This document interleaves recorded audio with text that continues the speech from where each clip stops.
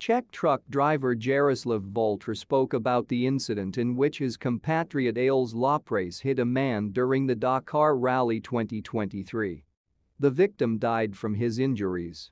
It turned out to be a 69-year-old Italian fan. I am terribly sorry that this man died, but it was irresponsible. I see it from the salon every day. People are jumping right in front of me hiding behind the dunes, standing on the dunes, and not realizing that sometimes I can't even control the car on the sand. When I turn the steering wheel, the car reacts only after 5 meters. If I want to pass someone on the road, I must find out from the navigator in advance that there is no one there. I would not want to race today.